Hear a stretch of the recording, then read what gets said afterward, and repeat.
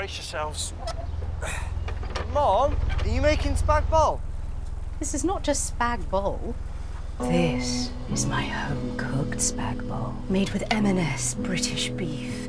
Their authentic tomato sauce, spooned over their real Italian pasta.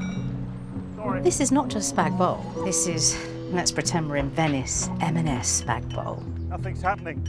Ooh, that's what?